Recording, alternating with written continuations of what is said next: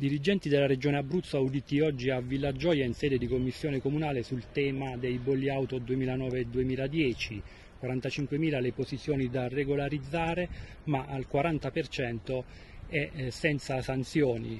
Eh, la conferma è arrivata in commissione eh, dopo l'interlocuzione della Regione con il Ministero.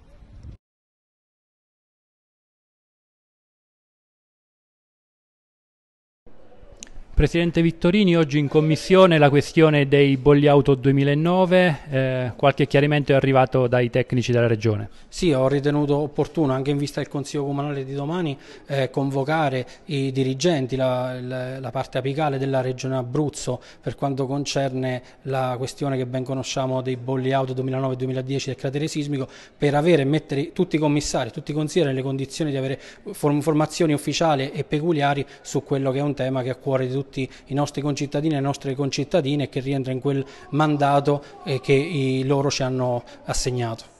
Ecco, che cosa è emerso in particolare dalla Commissione? Beh, innanzitutto abbiamo avuto un chiarimento di natura quantitativa su quello che è l'importo anche in valore assoluto eh, dei bolli e quindi le cartelle che sono state e che sono in corso di notifica verso la, i nostri eh, concittadini, ma soprattutto c'è stata la conferma di un'apertura da parte della Regione Abruzzo con colloqui nei confronti del MEF e del Governo centrale, che poi poco fa è stato confermato sia dalla Premier Meloni che del Presidente Marsilio, di una volontà di andare incontro ai concittadini, soprattutto per quanto concerne la parte parte sanzione e interesse delle cartelle che sono arrivate.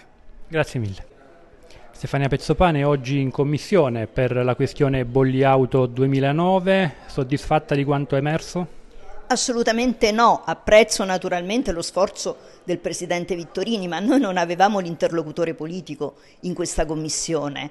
L'assessore non è venuto, non è venuto il sindaco, e per cui la commissione è stata un nulla di fatto. L'interlocuzione è stata unicamente con due dirigenti regionali che hanno risposto ad alcune domande, eh, ma che non hanno risolto il problema, che è politico.